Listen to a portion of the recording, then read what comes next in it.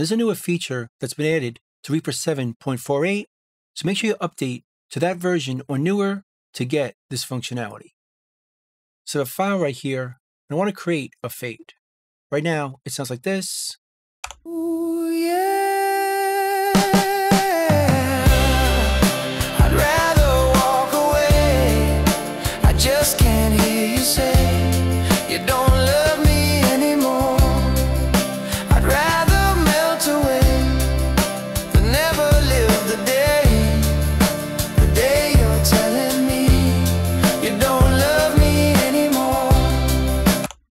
So again, we want to fade this out.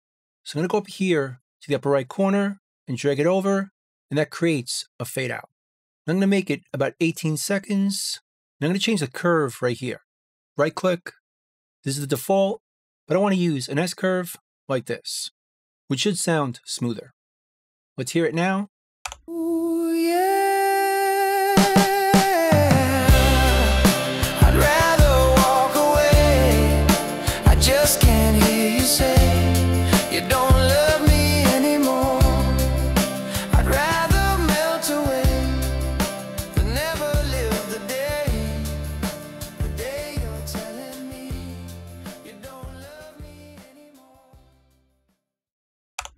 That sounds really good. We could also add this new feature called the low pass fade. So I right click over here. Besides choosing our shape, right down here, we could also add a low pass fade to it, which is going to fade the top end with a low pass filter along with fading out the volume. So let's add this in to this shape. Notice it adds this extra green line, letting us know we're using the low pass fade. And let's hear this version. And notice how the top end fades out towards the end of the fade, making it sound more distant and supposedly more natural. Ooh,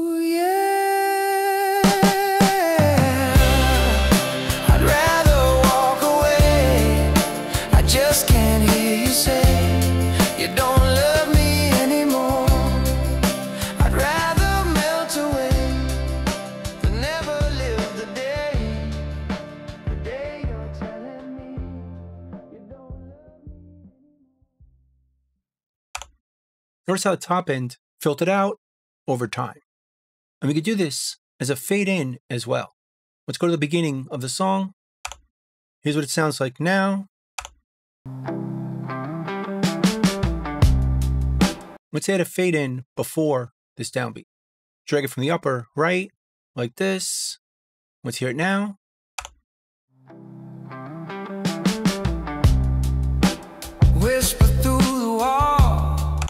Let's add in that low pass fade, which is going to filter the low end in the beginning back to normal at the end of the fade.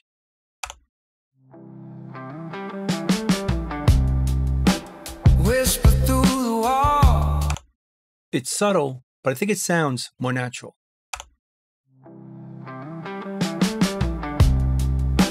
Whisper through the wall. So that's fading in and fading out on one audio file. But now let's try it on a full mix. I have a project right here that I need to fade out, and obviously it's a multi-track project, and I want to fade it out as a post-process in a render. Let's see what it sounds like now.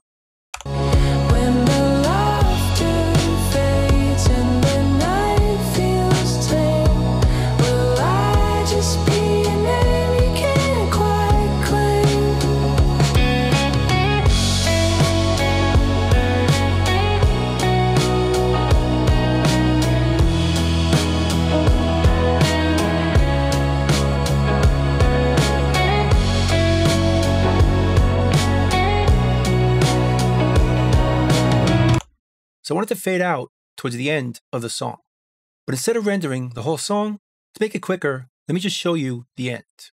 I'm going to start by selecting from here to about here, go to the File menu, and choose to render.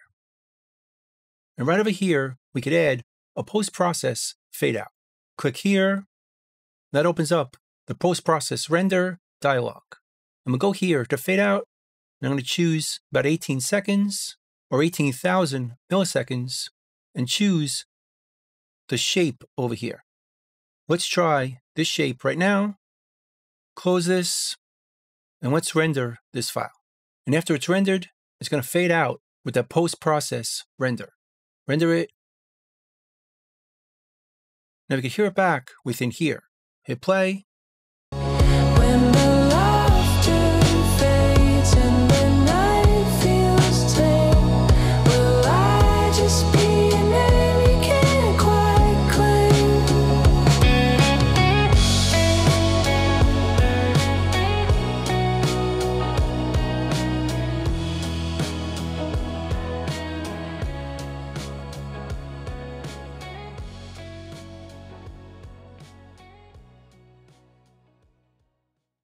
It sounds pretty natural.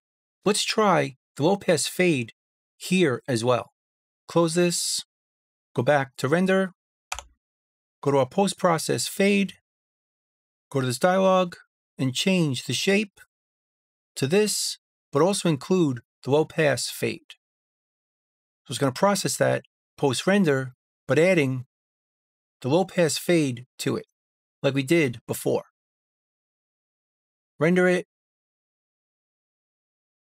Let's hear that result now.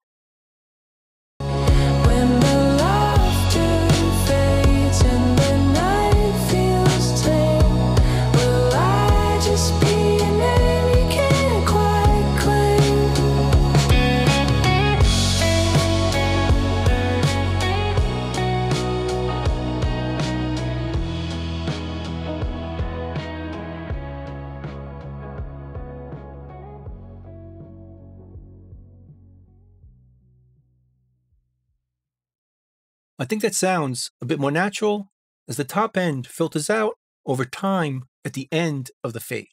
So we could do this on a file or during post process of our render. There's one other way we could use the low pass fade. And that's if we're using the batch file item converter. And again, in here, we can convert our files, but we could also use the post process. Choose it. Again, that opens up this dialog. We could choose the fade out, choose any shape we want or any length, but also use the low pass fade with any shape we choose. So if you want your top end to fade out along with the volume, this is a pretty good way to do it. And it's a newer feature that's been added Reaper 7.48. So that's pretty much it. That's the low pass fade in Reaper. I hope you learned something. Hope you can use it, and I'll see you next time. Thanks.